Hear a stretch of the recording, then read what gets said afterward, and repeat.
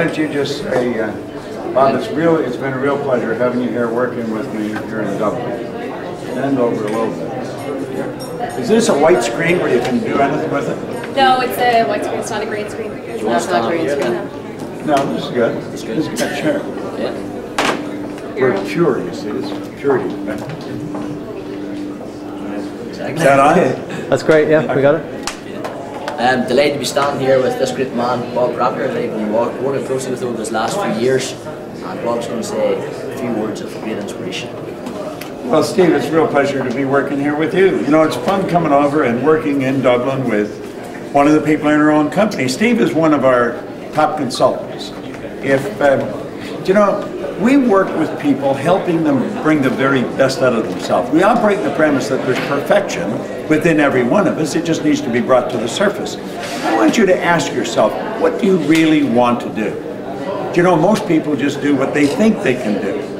If you want to do what you really want, understand this, you won't know how to do it. Now that may seem like a bit of a, a paradox, but when we really want to do something, what we're doing is we're going beyond the limits we're at. This guy can help you get there. He has gone through special training with us in America. Um, I'm here working with him because of the work that he's done and is doing. And, you know, he can sit and show you a few simple steps. It's like, imagine if you never knew how to drive a car. And you see somebody get in and they're just wheeling all over the place. It looks so difficult. But you get in it and pretty soon you're driving it subconsciously. Well, you know, that's the way it is with winning in life. And we have spent close to 50 years connecting all the dots, putting all the pieces together.